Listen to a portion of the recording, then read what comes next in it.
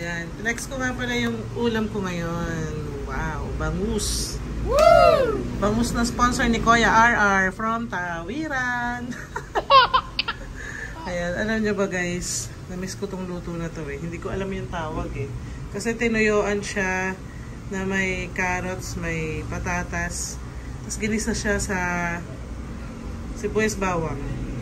Tapos may kalamansi. Ano yun? Kinalamansian na tinuyuan. Basta yun yun. Ang alam ko lang, masherep to. Kain na tayo, mga mare.